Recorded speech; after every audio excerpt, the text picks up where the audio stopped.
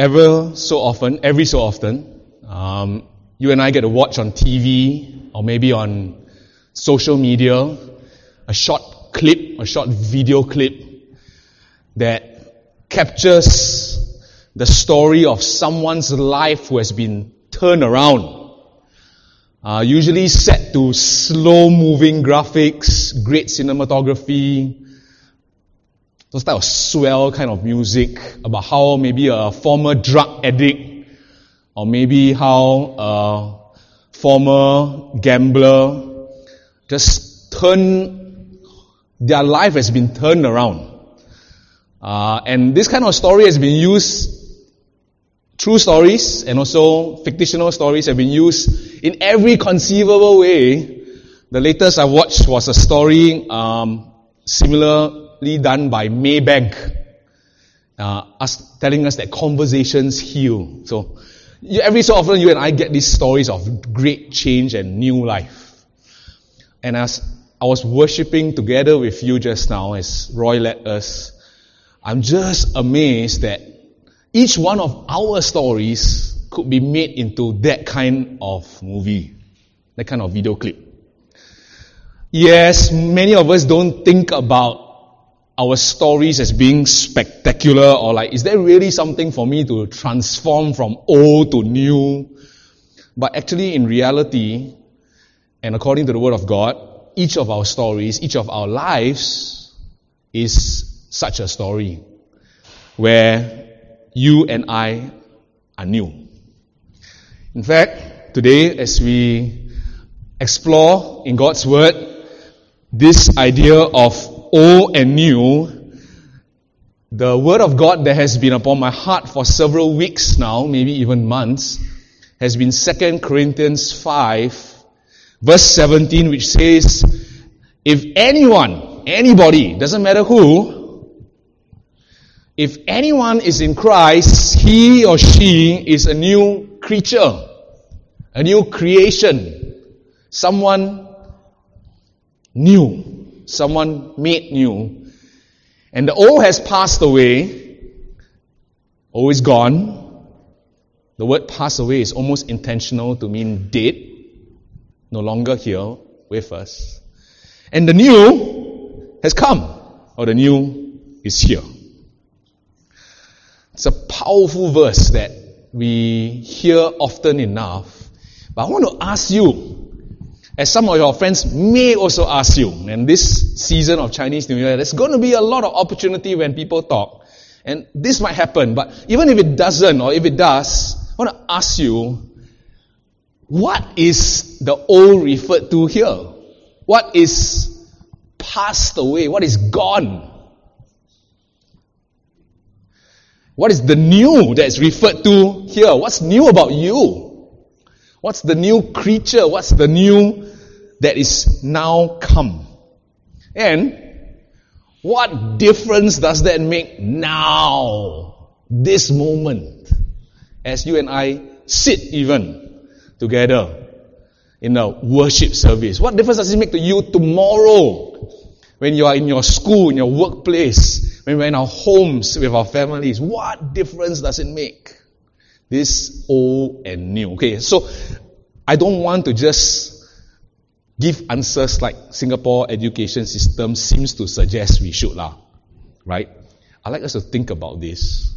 And I'd like us to share your thoughts briefly with one another. Let me give you a few moments to think. And I'm going to ask you to find a partner nearby. One or two can, no problem. And I'd like you to share with him or her what's the old, what's the new, and what difference does it make. And I'd like you to listen to one another's answers. And if there's a lit, if you all share really quickly, you'll have some time to be able to discuss or clarify a bit further. But let me ask you to think about it for a moment.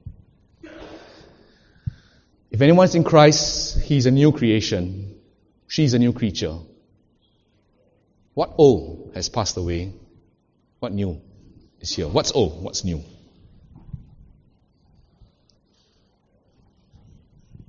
Give us half a minute and I'll ask you to share concisely, precisely.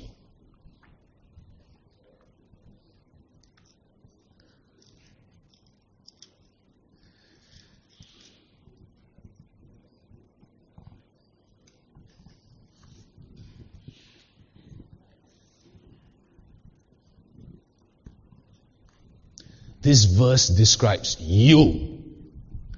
You are new. Can you tell the difference? What's old? What's new? And so what today? Alright, if you've thought about it, now find a partner quickly. Let me give you about a minute or two minutes and share briefly with one another what's new, what's old, and what difference does it make. Go!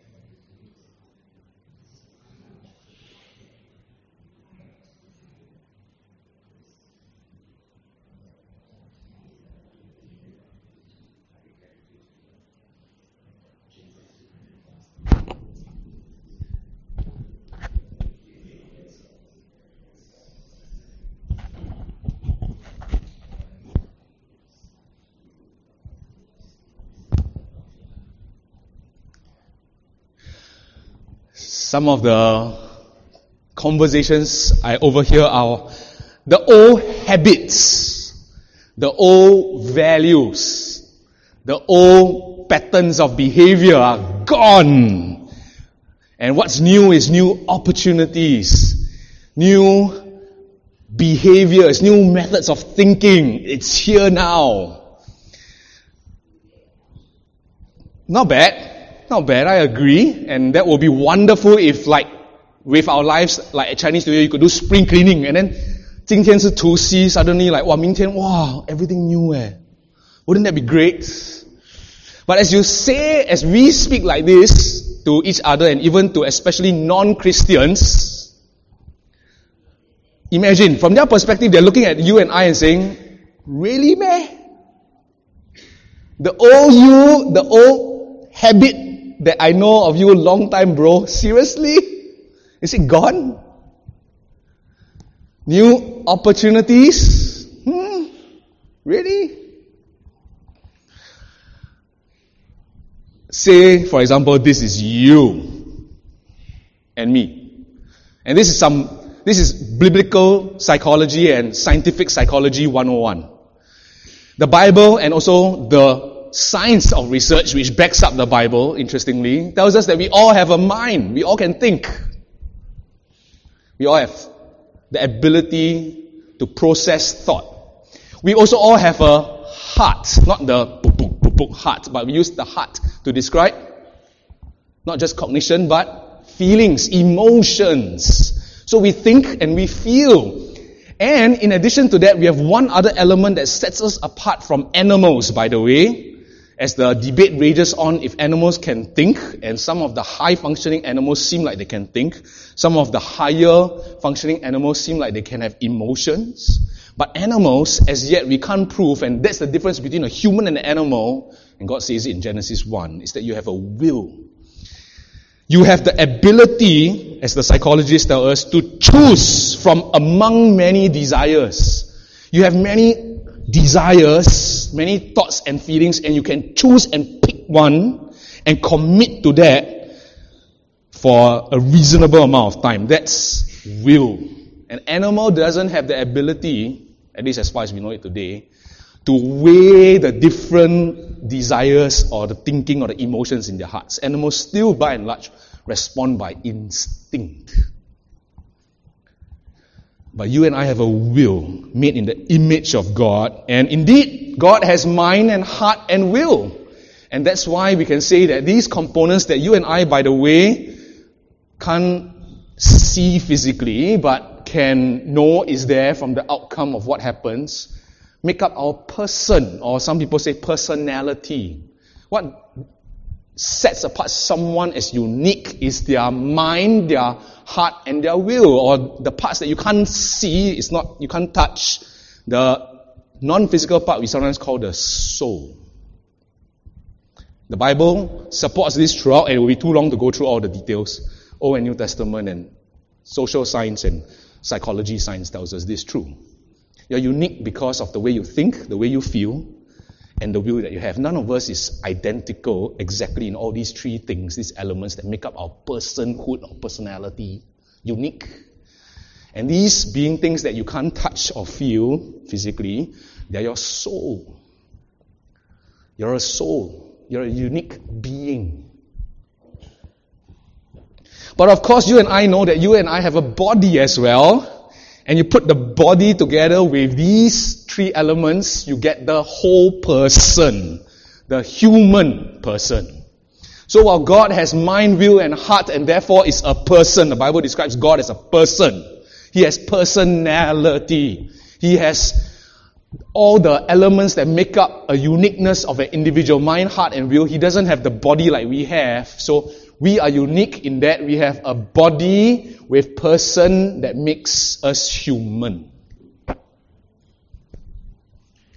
Well, now you can sound really intelligent when you speak to uh, people around you. Like, hey, let me tell you a little bit. Took a lot of research.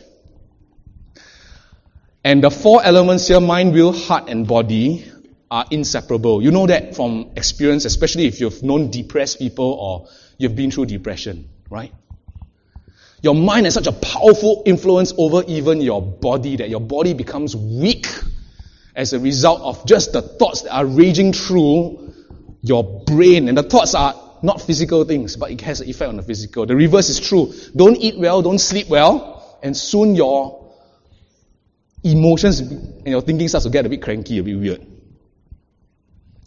fused together, cannot separate out in that sense. But of course, we know that the body is something that's in the flesh or in that you can touch and feel, and the rest of it is the soul. Put together, that's our humanness. Now, the Bible describes this, you and I, as what can be seen, and I put in apostrophe because, yeah, you can't really see someone's emotions except when it's expressed. But this is what the Bible says is what's seeable, observable, or what is the things that can identify a person. This is a person's appearance. These can be seen in the flesh. So the sometimes the Bible uses the word flesh. This is the natural being, the natural person, the world, the created world human being. So that's who you and I are. So I ask again if today you're a new creature, new creation, what's different? What's really old? Has your mind ceased to exist? From the day before and the day after, or from the minute before, the minute after, you say, Yes, Lord, I receive you as Savior. Did suddenly something happen in your will? Is it really completely new? Is your body any different? Are you sure that all these four things are totally transformed at that instant? So that all the habits and the values and all the patterns of our behavior, the moment we receive Christ are immediately transformed because I'm new. Is that really true? Our answers, are our answers adequate? Would our friends ask us, are you sure? Or that's just a cool idea? My prayer has been that as we look into God's Word today, we'll be able to explain this and more, that oldness and newness clearly, not only for others' benefit, but also for our own. If we can answer the question, what is old about me, what's new about me, immediately and simply, it will define the difference that it makes for us today. But there's so much of this to explore that we can't cover everything in less than an hour. We just explore one or two key big ideas today. So please join me. Turn in your Bible to 2 Corinthians 5 17. And in order to get a fuller understanding, we'll look at the verses before and after from 2 Corinthians 5 14 to 18 and see if this understanding that we have is adequate or let God complete our understanding of oldness and newness. Dear God, as we read your word now, we pray that it will be your spirit who tutors us and not just the words or speech of a human being or not just the thoughts or ideas of our human beingness. Speak to us in spiritual truths through spiritual ways by your Spirit. That each of us here who is new may understand what that is and live in that newness. We pray this in Jesus' name. Amen. Verse 14. Paul and Timothy writing to the church of Corinth, that's in Greece, and also to all the people of God throughout Achaia. We learn this from the first verse of this letter. He says, Christ's love compels you and me, or Christ's love controls you and me. The word there in Greek means to hold tightly together. The love of God holds us tightly together to Him. Because we are convinced or we have concluded that one has died for all and therefore all have died. Christ's love compels me. So if you ask yourself the question, what's the difference between the old me and the new me? At one turning point, suddenly from that point onwards, Paul says, truly, now speaking about him, his new life now, and same for all of us. I am controlled. I am driven by. I am held up. I'm held close. I am compelled by the love of God to me. And here is the evidence, verse 14, second half. Because one person has died. Jesus has died. Has died for all. And therefore, all have died. This is the first of four observations about the difference between old and new. We will get to the summary eventually, but let's follow with Paul what he's saying.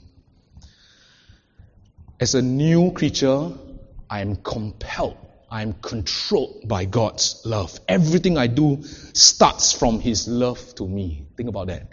Everything I am, everything I do begins with an understanding and experience of God's love for me whether it is my stewardship, how I give my tithe, how I spend my time, what I do with my ability, everything starts from the point of understanding God's love for me. How I go through suffering, how I express my sexuality. Verse 13, actually, if you reverse one more verse, Paul in fact says, sometimes it looks like we are out of our mind, as some people would say.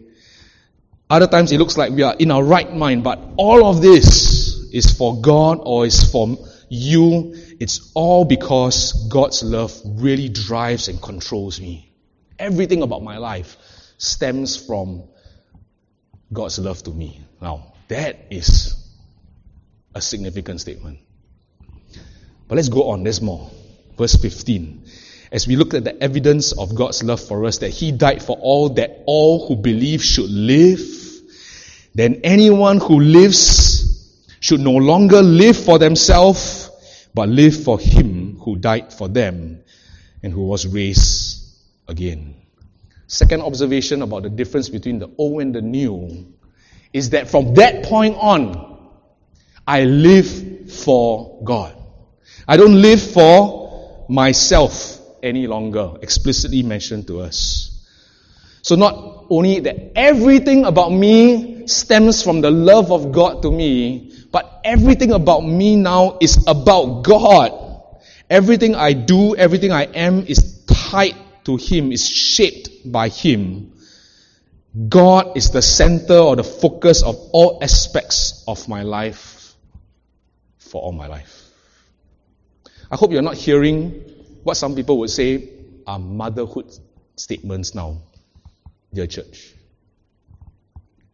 Because if you cannot understand the difference, if I cannot understand the difference between old and new simply and clearly and fully, then in some way uh, we are living like this picture shows are uh, no different from the old. The character here on the left and the character there on the right exactly the same for now. So we need to think deeply. When God says, when Paul teaches us that as a new creature, two marks. One, I am controlled by Christ's love. And that implies before we were controlled by something else. And number two, now everything about my life is about God first.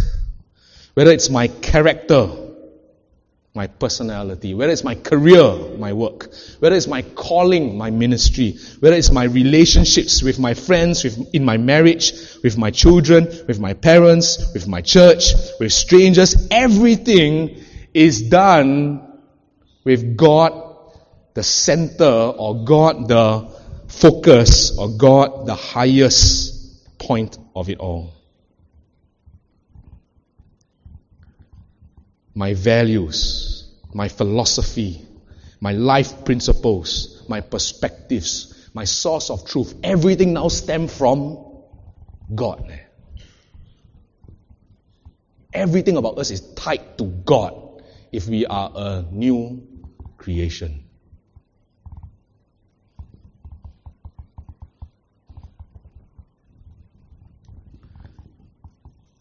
Paul clearly writes, I no longer live for myself. I live for God. That's a very powerful word to say. I used to do everything for me. Everything was about me. My career choice, my character, my calling, my relationships, my values. Everything was about me, me, me. But now everything is about God. Everything is determined by God. Everything is tied to God. I have given up my life to God for God. Jesus says this in many ways in the Gospels. He says, if anyone were to come after me, he needs to deny himself, take up his cross, and follow me, and do this daily.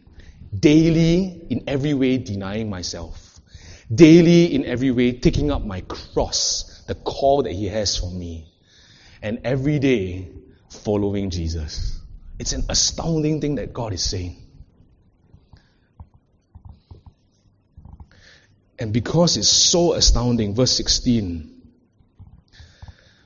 when these are true of someone, when you see in so and so's life that Christ's love controls them. Everything they do is stemming from the love of God. Whether they visit someone in the hospital or they do any form of service or what they say or what they, they how they live, how they spend money, uh, everything is stemming from the love that they have for God and the love that they know God has for them.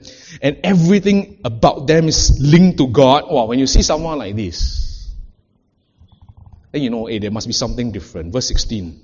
Therefore, we know that that point on, we don't see, we don't regard anyone any longer from a worldly point of view.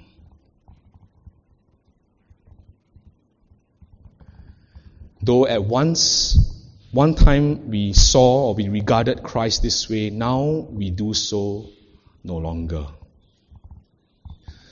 If these two things are so true of someone that you know, or yourself for the matter, then you know something has happened or something different about this person. And Paul gives us an example in Christ.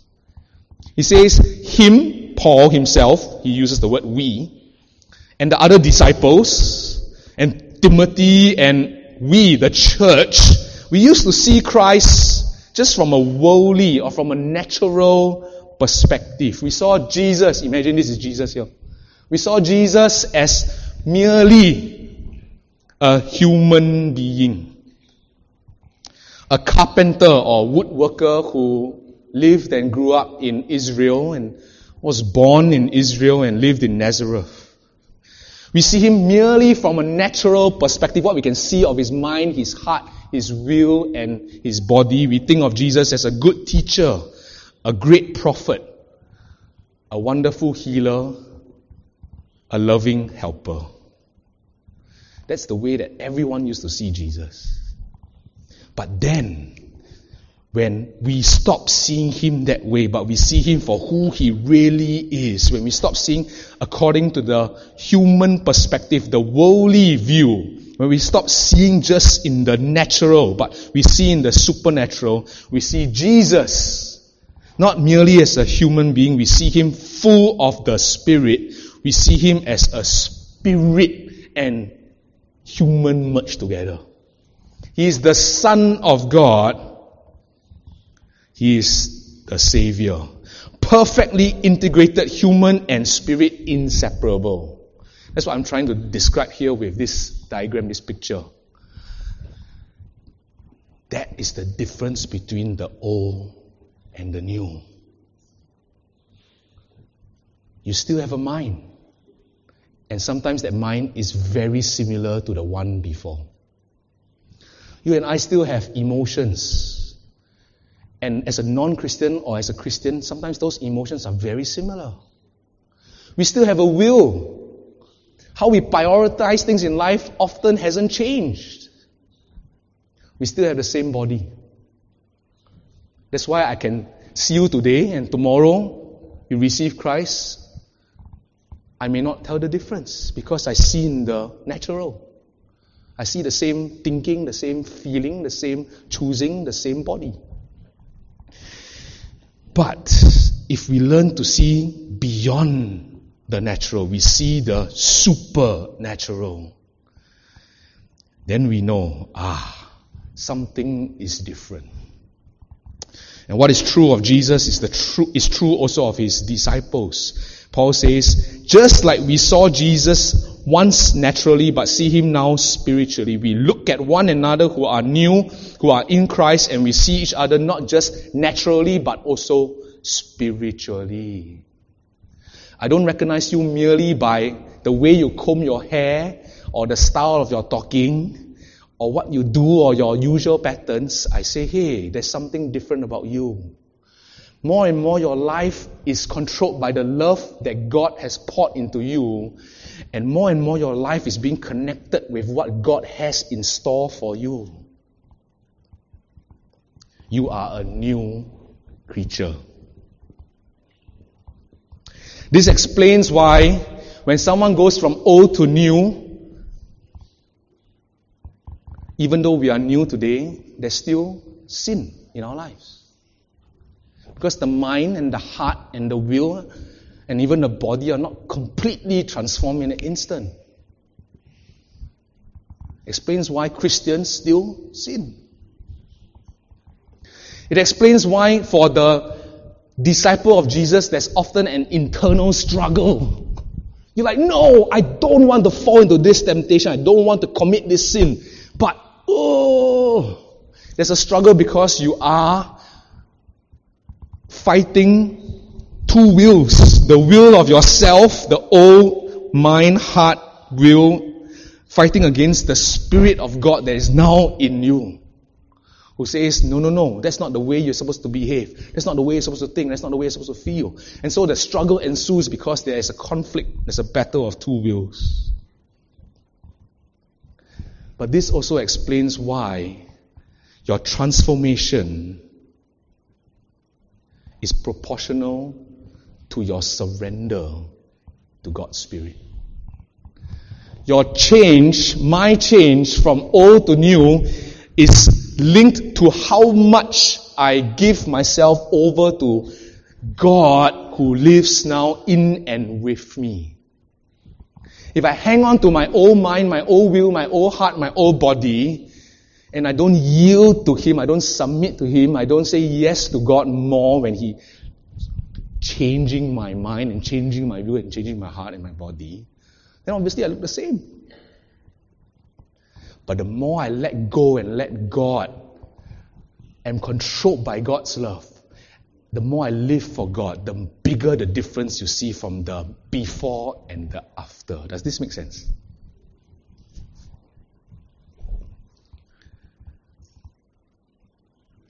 And so when we reach verse 17, we see that if anyone is in Christ, anyone, that person is a new creation.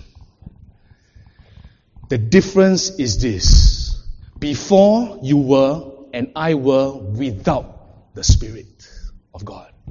We were merely natural, merely a soul in a body, merely flesh, observable, yes, by the world. We're merely worldly, natural. But from one point onwards, when God poured His Spirit into our lives, now we are a new spiritual creature.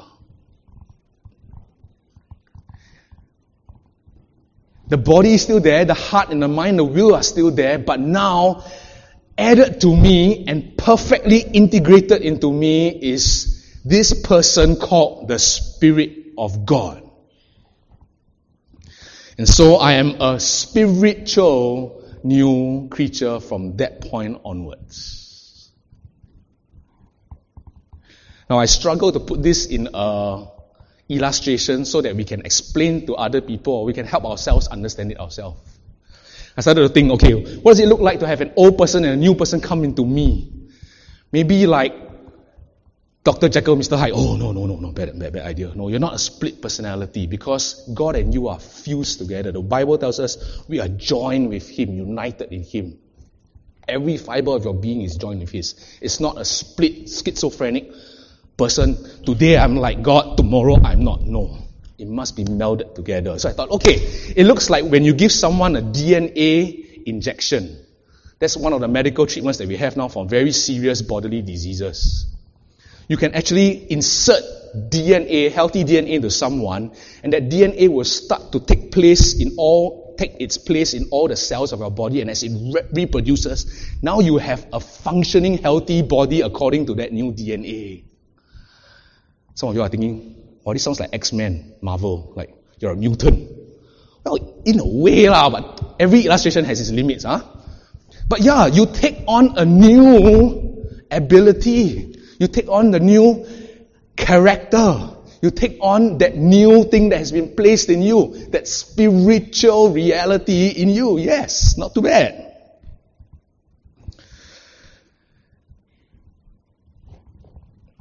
And then I thought, okay, let's let's try this. This this this might help us to understand. Here is Jeremiah's water. Let's say you and I, this represents you and I. Here am I, just plain old water. Okay, so mind, will, heart in a body.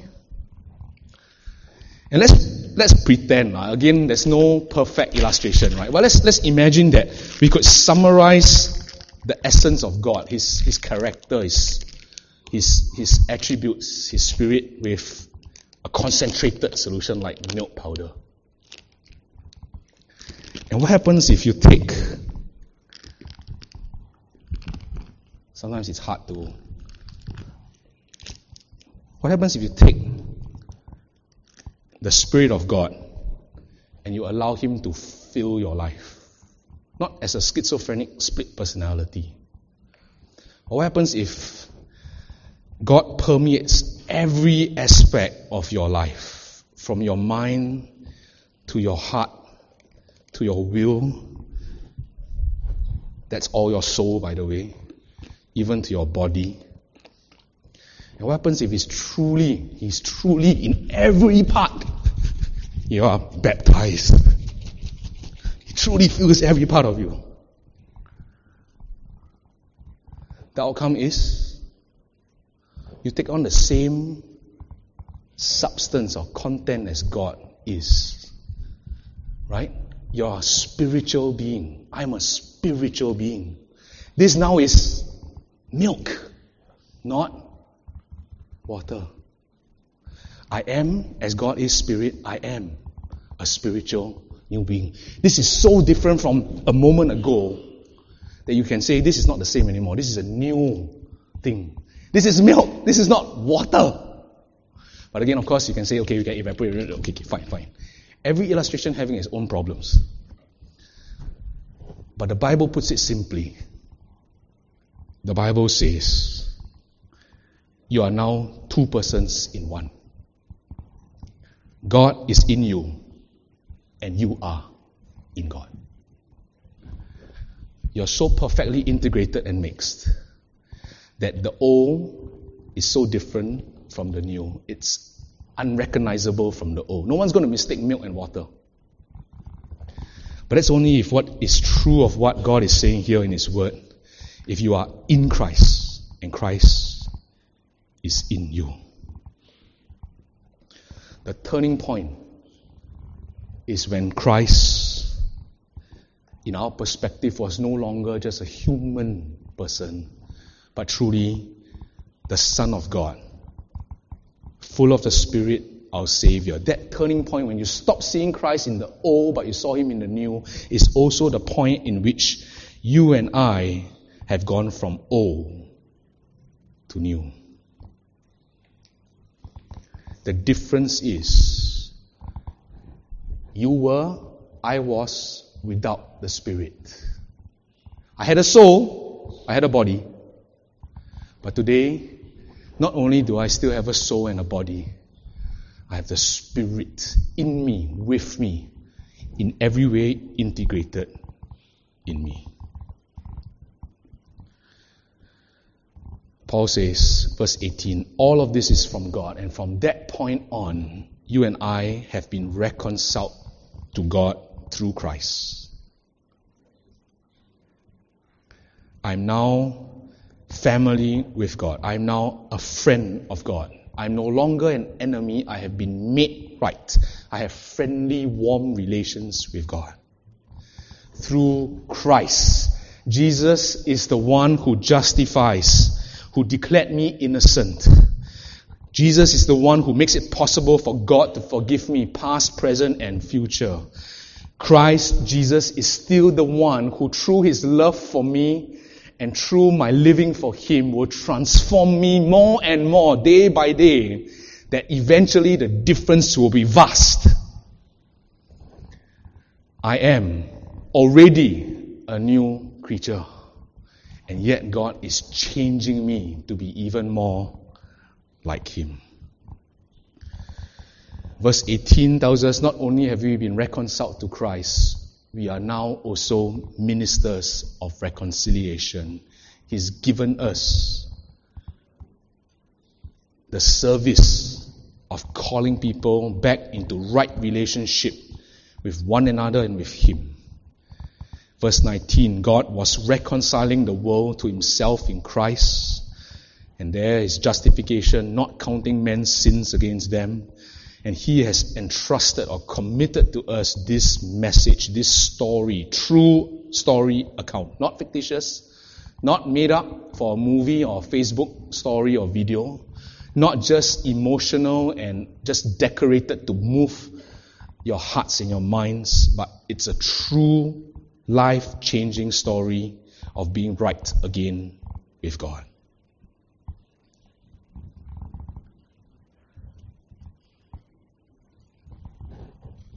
What is all? Simply put, you and I, spiritless. You and I, no spirit. Or you and I, unspiritual. 就是这么简单。That person, that me without the Spirit is gone. That's history. That person's passed on. Look around for a Joshua without the Holy Spirit today. Look for a Joshua Su Jianhao without the Spirit today. You can't find him. He's dead. He's gone. He's buried. What's new? Same Joshua. Still look the same. I didn't lose weight overnight. same body, same mind, same heart, same will, but with the Spirit of God in every fiber of my being. What's new? I in the Spirit, the Spirit in me. I join with Christ. This is a new creature. Still changing, but unrecognizable from the past prayerfully because I have the Spirit in me for sure. And He's not leaving me in a hurry. He's not leaving me at all, full stop.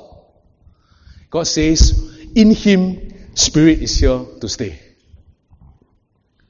The old is gone, the new has come.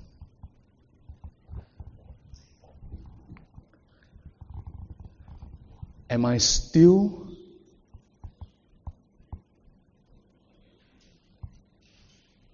the old me? Yes and no. Am I totally new? Yes and no. What difference does it make? Here's the difference. All those highlighted words, they're all verbs, they're all action words. I'm a new creature that still needs to be changed. But already, at that point, when Christ came into me, when His Spirit came into my life, and He joined me with Him in His very substance of spiritualness, not non spiritual. That moment on, Christ's love begins to control me. The more I know the love of Christ for me, the more that control is driven and is enveloped stems from love for God and love God's love for me.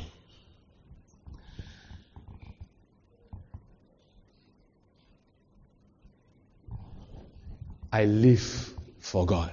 Yes. There's still parts of my life that I still live for myself. But God is asking me more and more, bring every aspect of my life into submission to Him. Make everything about me tied to Him.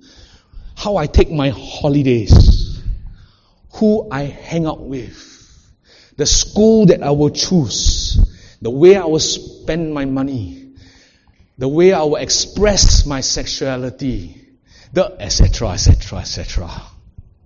Everything. Let my marriage be how God wants it to be. Let my parenting be how God guides me to be. Let everything about me be about God as His love compels and controls me. No longer do I live for myself. I now live to God, with God, for God. motivated by His love, guided by Him. The one other thing that is different is that now I'm a minister of reconciliation. I bring people together, and more importantly, I bring people to God. If, if you just come to mind now, Matthew 5, yes, blessed are the peacemakers, exactly. Blessed indeed are you when you make peace with people to people, but imagine if you make peace between people and God. You bring people to Jesus and you show them not to see Him from a human perspective anymore, but from a spiritual, a supernatural perspective. He is the Son of God, He's the Savior. From that moment, their lives take on a new trajectory. They are also new creatures, spiritual like you and I.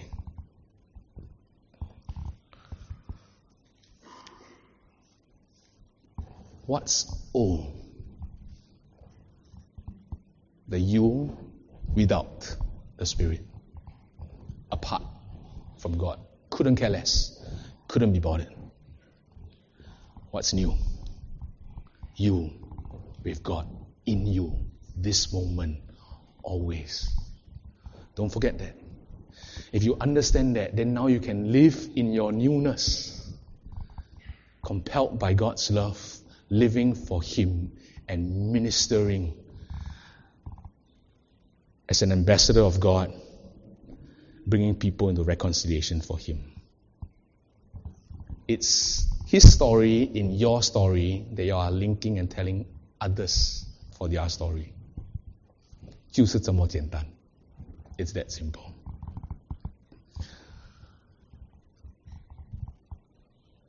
Chinese New Year is a time when we focus a lot on restoring, renewing, etc., etc.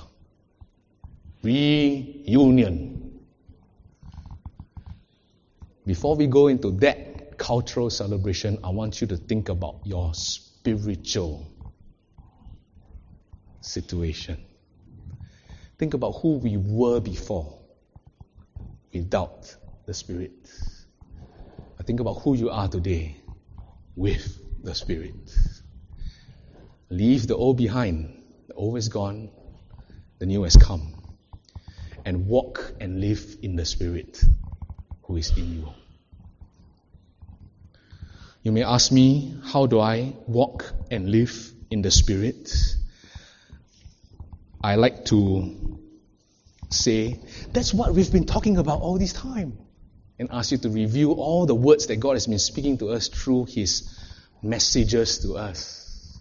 How do I walk with Him? Three vital connections prayer, word, and allowing His Spirit to change our minds, our hearts, our wills. But what if I can't get a connection with Him? What if I doubt that He's for real? We talked about that too. Recall your history with Jesus. Remember that Jesus wants to help you to have faith. He gives you evidence today that He still wants you to believe in Him. And then, after it all, know that believing before you see is even better. Is a great blessing. How do I live my whole life for God? one of the professors of Biola Institute, the Bible Institute of Los Angeles, he shared with us, he says, You want to live your life for God? Go seek his opinion about everything about your life. He challenges us. Go ask God's opinion about your life partner. Go ask God's opinion about your choice of career. Go ask God's opinion through prayer, through the word, and through the body of believers. Go ask as His Spirit ministers and guides to us. Go ask His opinion and go follow it. And then you say, How can I be a minister for God? How can I serve in the Spirit? Paul says, Well, you make friends you gain their trust, you call them near to God, and even sometimes you beg. As you pray, you implore them, come to Christ, be reconciled to God. You make friends, you gain their trust, you share with them the call of God to you and for them. And perhaps sometimes you may even need to implore them, hey, bro, listen to me, man.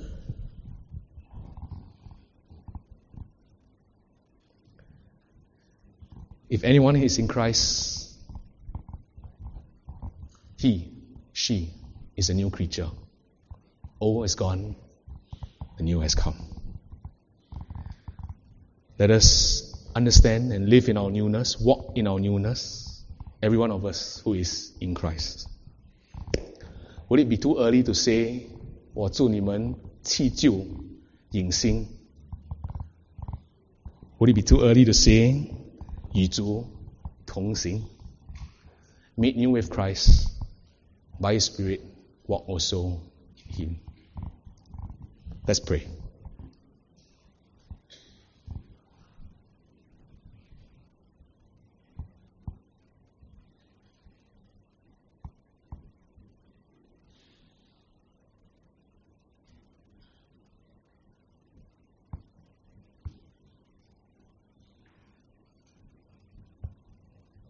Abba, Father.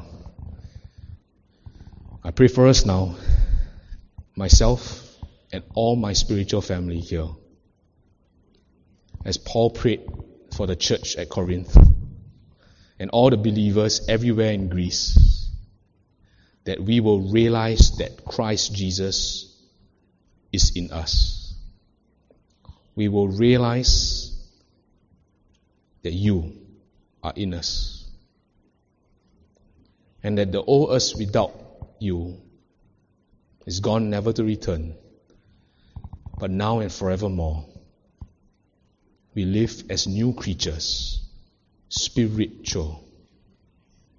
You in us.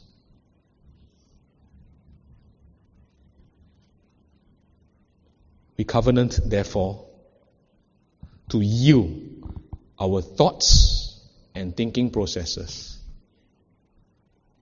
our feelings and emotional responses, our choosing, our desires, our priorities, our will. We choose now. We covenant now to yield to your spirit to yield to you. So that even as our outward body wastes away, inwardly we are being renewed day by day. Lord, do this that we may shine as light, we may be useful as salt, as we reflect your glory made in your image, not only in the natural, but also in the supernatural. Help us understand this for ourselves and this also for our family and our friends, for strangers and for anyone else whom you will place in our lives to call them to reconciliation with you. This we pray, Lord, in your own name who works powerfully in us, for we are new creatures. Amen.